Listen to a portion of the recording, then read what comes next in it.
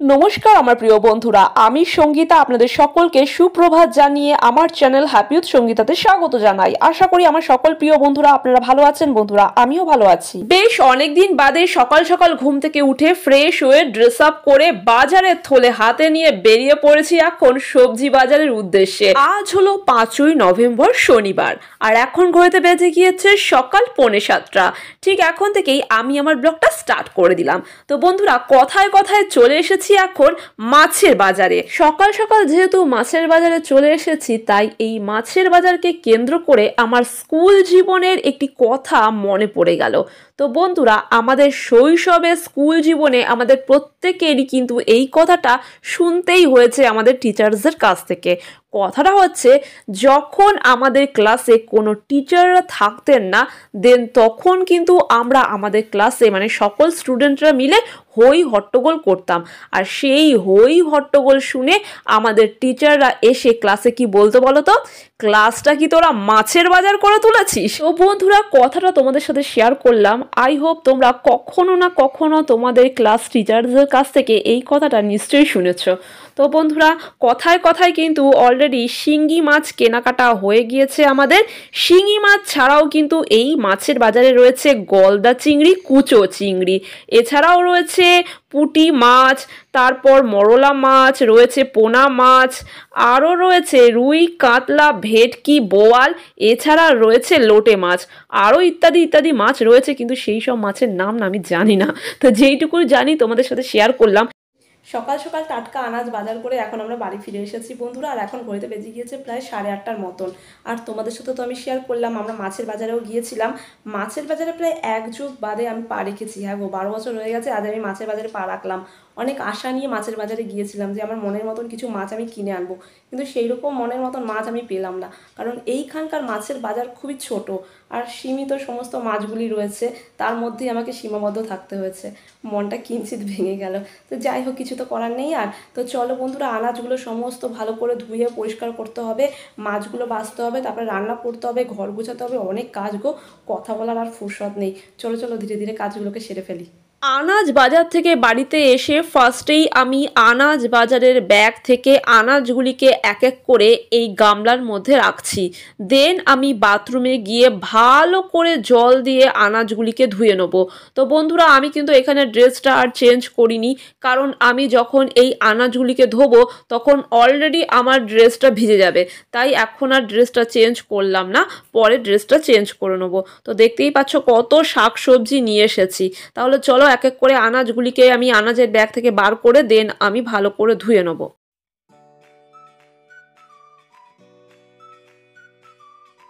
ওদিকে সমস্ত আনাজগুলিকে ভালো করে জল দিয়ে ধুয়ে বারান্দাতে জল ঝরাতে রেখে দিয়েছি।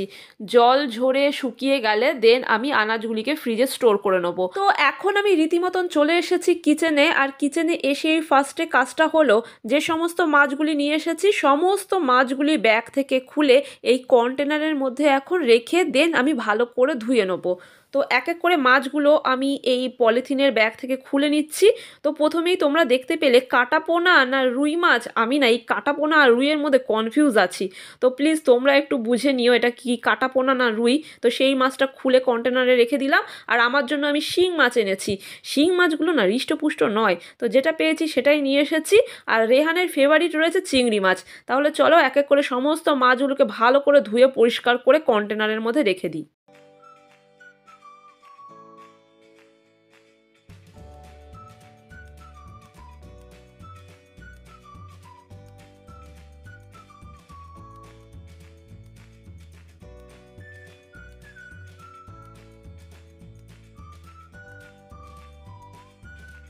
এক এক করে সমস্ত মাছগুলিকে আমি ভালো করে ধুয়ে কন্টেনারের মধ্যে রেখে দিয়েছি।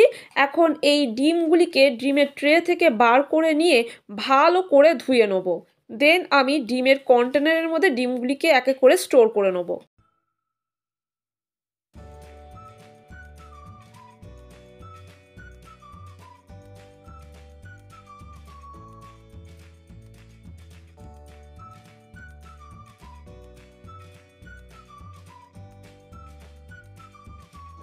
সমস্ত মাছ আর ডিমগুলিকে আমি জল দিয়ে ধুয়ে ভালো করে পরিষ্কার করে নিয়েছি। এখন সেপারেট সেপারেট কন্টেনারে মাছগুলি আর ডিমগুলিকে আমি স্টোর করে ফ্রিজে রেখে দেবো। এগুলোকে আমি আজকে রান্না করবই না। কাল রাতের বেলা আমার কর্তামশাই বাজার থেকে খাসির মাংস আর মুরগির মাংস কিনে নিয়ে এসেছিল। তো সেই খাসির মাংস আর মুরগির মাংস রান্না করা হয়নি গো রাতেরবেলা কারণ সাময়িক একটু অসুস্থ হয়ে পড়েছিলাম।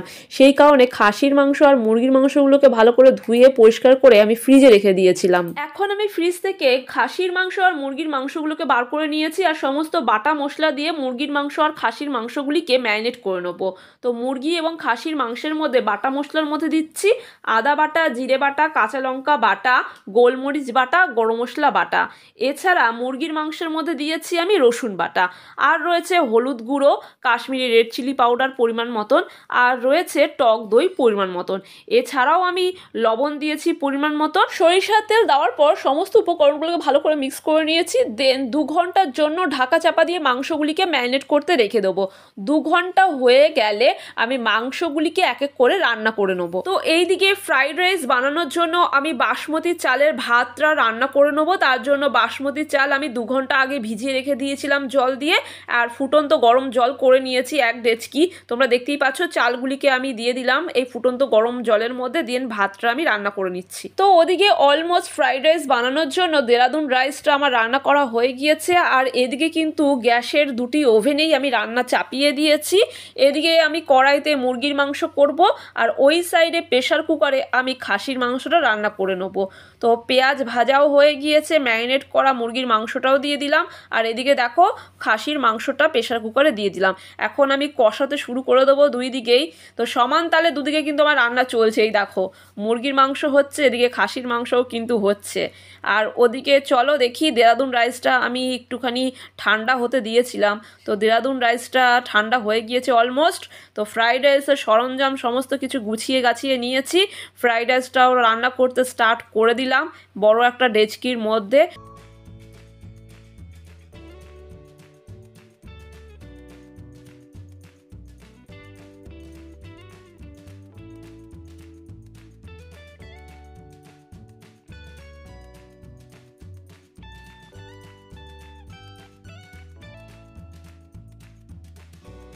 অলমোস্ট আজকে আমার লাঞ্চের মেনু রান্না করা হয়ে গিয়েছে বন্ধুরা।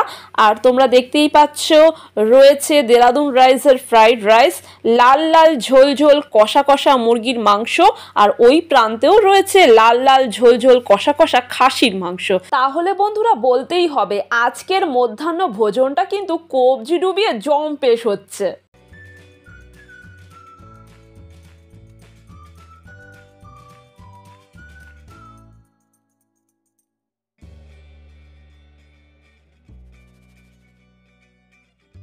বন্ধুরা, কালকে রাতে আমি খাসির মাংস আর মুরগির মাংস রান্না করতে পারিনি বলে আমাকে কিন্তু অনেক কথা শুনতে হয়েছে। তাই আজকে কিন্তু মধ্যাহ্ন ভোজনটা তাদেরকে বেশ পরিপাটি করে সাজিয়ে গুছিয়ে সার্ভ করে দিয়েছি। কোনো কিছুর খামতি রাখিনি কিন্তু বন্ধুরা, তারা কিন্তু গরম গরম মধ্যাহ্ন ভোজনটা বেশ পরিপাটি করে উপভোগ করছে। আর আমি একটু ফ্রেশ হয়ে নেব দেন আমি মধ্যাহ্ন ভোজনটা উপভোগ করে তোমাদের সাথে কথা বলছি। সো ফ্রেন্ডস এই জাস্ট আমি লাঞ্চ করে উঠলাম।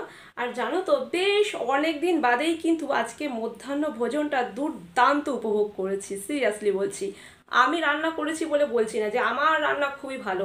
তোমরা আমার থেকে অনেক অনেক ভালো রান্না করো। কিন্তু হয় না এক এক দিন যে রান্নার স্বাদ অপূর্ব হয়ে ওঠে, তো আজকে কিন্তু রান্নার স্বাদটা অপূর্ব হয়ে উঠেছিল। তো খুব ভালো লেগেছে আজকে রান্না বান্না বেশ শান্তিপূর্ণভাবে খাওয়া দাওয়া করেছি আমরা। তো খাওয়া দাওয়া তো হয়ে গিয়েছে এবং আই ঢাই করছে, এতটা খেয়ে নিয়েছি না, আই ঢাই করছে। তো কিছুক্ষণ বারান্দায় হাঁটাচলা করলাম আর এখন রেহানা, রেহানের পাপা পাশের ঘরে ঘুমোচ্ছে। তো ওদেরকে আর ডিস্টার্ব করছি না, তাই আমি এই ঘরে চলে এসেছি। আর এই ঘরটা গোছাচ্ছিলাম, জানো তো? মোস্টলি আমি এই ঘরটা গোছাচ্ছিলাম। তো দুর্গা পুজো গেল কালী পুজো গেল, ভাই ফোটা গেল, সমস্ত জামা কাপড় এদিক ওদিক লন্ডভন্ড হয়ে আছে। তো সেইগুলোকে আমি ওয়ার্ড্রপে তুলবো বলে গোছাচ্ছিলাম। তো তখনই নোটিস করলাম যে ভাই ফোটার যে গিফটগুলো তোমাদের সাথে তো আমার শেয়ার করা হয়নি যে ভাই ফোটাতে আমি কী কী গিফট পেয়েছি বা কী কী কেনাকাটা করেছি।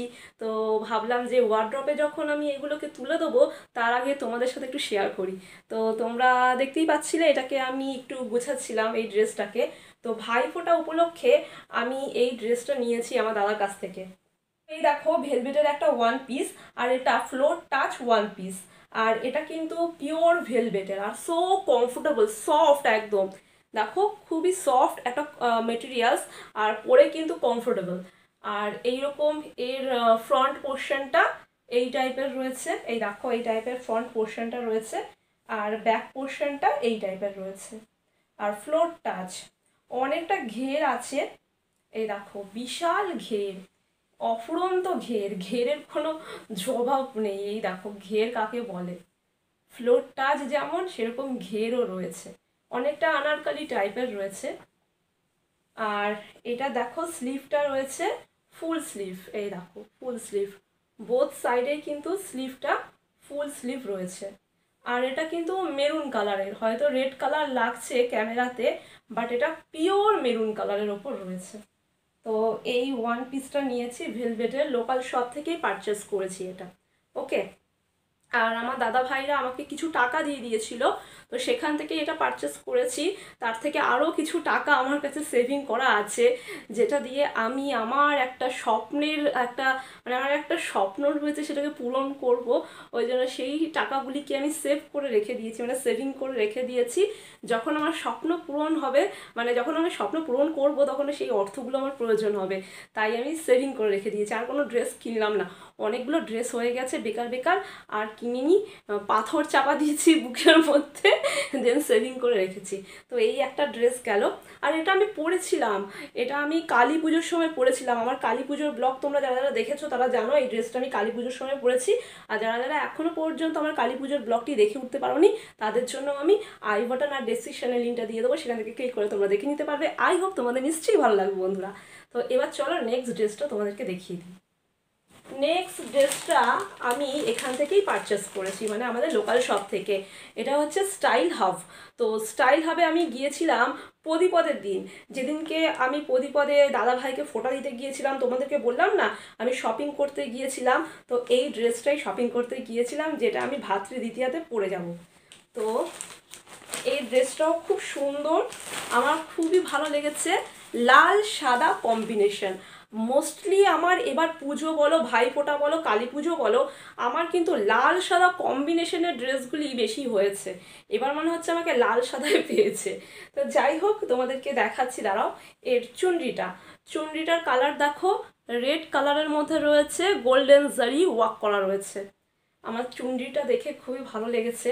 তো দিব্যা ভারতীর যে মুভিগুলো থাকতো না, দিব্যা ভারতী পড়তো, এইরকম চুনরি কিন্তু দিব্যা ভারতী অনেক পড়েছে।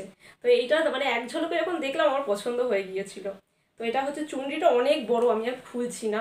অনেকটা লং চুনরি এটা। ওকে, এই ড্রেসটার সাথে রয়েছে। আর এই ড্রেসটা দেখো, এই ড্রেসটা অপূর্ব একটা আনারকালি ফ্লোর টাচ আনারকালি এটা। এই দেখো, খুবই হালকা ফুলকা ফ্লোর টাচ একটা আনারকালি ড্রেস অনেকটা ঘের আছে, অফুরন্ত এরও ঘের, অফুরন্ত ঘের আছে এই দেখো। অফুরন্ত ঘের। ঘেরের আর শেষ নেই।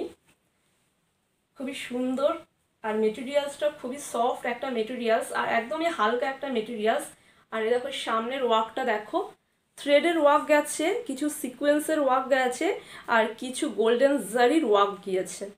মেশিন ওয়ার্ক পার্টিকুলারই মেশিন ওয়ার্ক গিয়েছে একটা পোর্শনে আর এই ফ্রন্টে এই পোর্শনটা দেখো, এখানেও কিন্তু এই দুপাট্টার যে মেটেরিয়ালস রয়েছে, সেটাই পাট্টি করে বসানো রয়েছে আর কিছু বাটনস রয়েছে গোল্ডেন জারির ওপর। আর নেকেও কিন্তু এই যে দুপাট্টা সেম মেটেরিয়ালস দিয়ে বর্ডার করা রয়েছে নেকে বোথ সাইডে ফ্রন্টে অ্যান্ড ব্যাকে তো নেকের সাইডটা এরকম রয়েছে, আর হাতাটা দেখো থ্রি কোয়ার্টার হাতা রয়েছে। দেখতেই পাচ্ছ থ্রি কোয়ার্টার হাতা রয়েছে।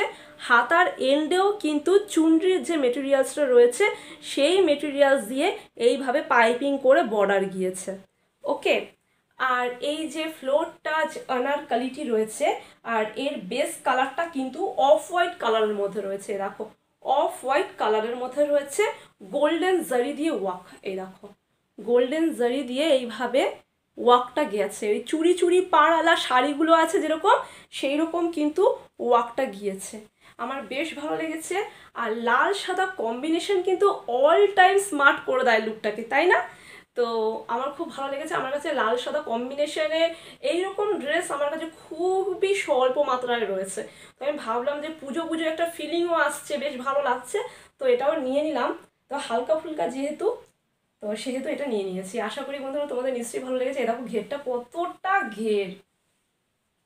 তো এইগুলো এই মানে বেসিক্যালি এইটা আর এই ভেলভেটের ড্রেসটা। এই দুটোই কিন্তু আমার ভাইফোঁটা উপলক্ষে দাদাদের তরফ থেকে গিফট তো তোমাদেরকে আগেও বললাম, এখনও বলছি, আরও কিছু টাকা বেঁচে আছে যেগুলো আমি সেভিং করে রেখে দিয়েছি। পরবর্তীকালে আমি ওটা দিয়ে একটা কিছু করব। তাই আমি সেভিং করে রেখে দিয়েছি। তো বন্ধুরা তোমাদেরকে দেখিয়ে দিলাম। সো এখন তো রেহানা, রেহানের পাপা ঘুমোচ্ছে, সেই সুযোগে আমি এই ঘরটা না পরিষ্কার করে ফেলব। যত জামা কাপড় এদিক ওদিক রয়েছে, সেগুলোকে গুছিয়ে ফেলব। তোমাদেরকে আর দেখাচ্ছি না। তোমরা দেখলে বলবে বলে বাপরে, সঙ্গীতা, তুমি এইগুলোকে এতদিনও বুঝাতে পারো নি এইরকম করে রেখে দিয়েছ? ওই কারণে এখনও দেখাচ্ছি না ইগনোর করে দিচ্ছি জিনিসটাকে। তো সমস্ত কিছু ওয়ার্ড্রপে রেখে দেবো গুছিয়ে। তারপরে রেহান ঘুম থেকে উঠলে পড়তে যাবে। রেহানের পাপা ওকে নিয়ে যাবে। তারপরে রেহানের পাপার আজ নাইট ডিউটিও রয়েছে। তো আবার আমাকে রুটি বানাতে হবে। অনেক কাজকর্ম রয়েছে। তো বন্ধুরা, আমার ব্লগটা এমনিতেও অনেকটাই বড় হয়ে যাচ্ছে। তাই আজকের শনিবারের মানে স্যাটারডের ব্লগটি আমি এখানেই সমাপ্ত করলাম। তোমরা সকলে ভালো থেকো, সুস্থ থেকো এবং অনেক অনেক আনন্দে থেকো। আরও একটি ফাটাফাটি ব্লগ নিয়ে আমি সঙ্গীতা তোমাদের কাছে চলে আসব। আর হ্যাঁ তার আগে যারা এখনও পর্যন্ত আমার চ্যানেলটিকে সাবস্ক্রাইব করনি, তারা কিন্তু অতি শীঘ্রই আমার চ্যানেলটিকে সাবস্ক্রাইব করে দিও। লাইক করো, কমেন্ট করো, আর অবশ্যই কিন্তু আমার চ্যানেলের ভিডিওগুলো তোমরা তোমাদের আত্মীয় স্বজন, বন্ধু বান্ধবের সাথে শেয়ার করতে পারো। So friends tata bye bye আবারও একটি সুন্দর ব্লগের মাধ্যমে তোমাদের সাথে আমার দেখা হচ্ছে।